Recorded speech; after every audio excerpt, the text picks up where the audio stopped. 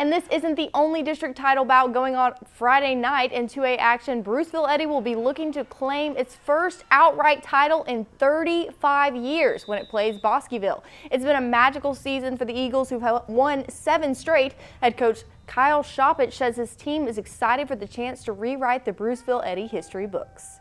Telling the boys, you know, you guys are rewriting history like right now. When they talk about Bruceville Eddy football in the future, they're going to talk about you you know, and that always perks their ears up a little bit, you know. So yeah, that part's been fun too.